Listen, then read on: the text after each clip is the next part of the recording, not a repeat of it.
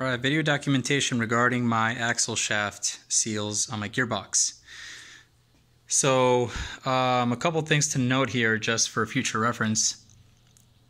I'm redoing my seals here because I had installed them with Curil T inside and outside, which is a non-hardening sealant, and on upon closer inspection, this is not a uh, appropriate application for uh, the OD of the seal, which we don't want it to ever come loose and start spinning, or the ID of the seal, which is supposed to seal against the shaft itself, but um, the sealant is kind of uh, sticky and never hardens. Um, anyway, this is debatable. So I went ahead and reinstalled them dry on both sides after cleaning up uh, all surfaces.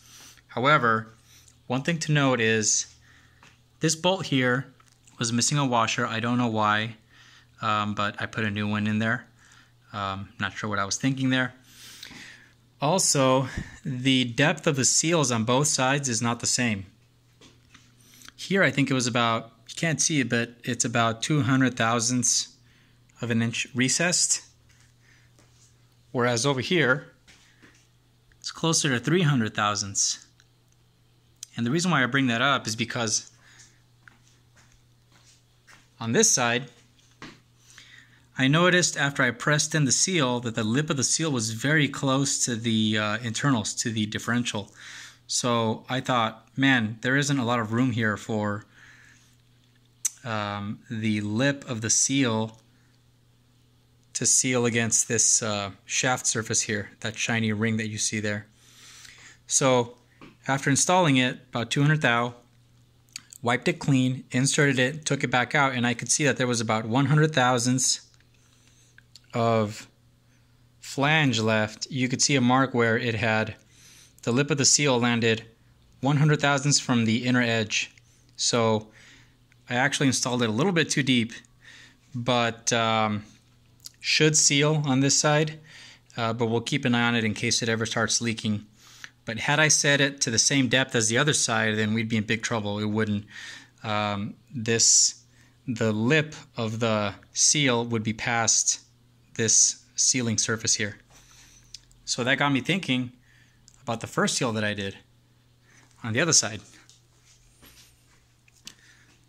So I went back and removed it, and I noticed that actually the differential is a lot further away from the lip of the seal, meaning that this is going to bottom out further inboard than it is on the other side. So, and you can see here where it's actually in very, very far. It's about almost 300 thousandths. But if I install this, let's see if we can see it with the camera, but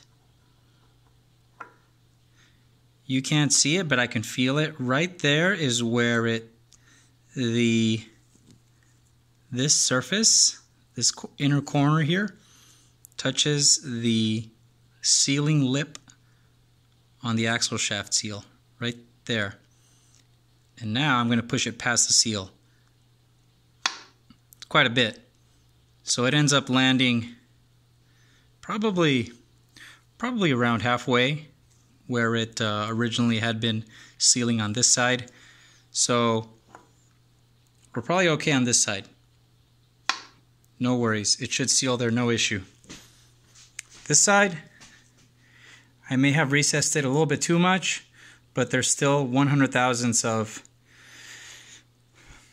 axle shaft uh, sealing surface contacting. So uh, nothing should leak out from this side. But if if either of the sides is going to start leaking, it might be this one first when uh, when this seal starts to get old.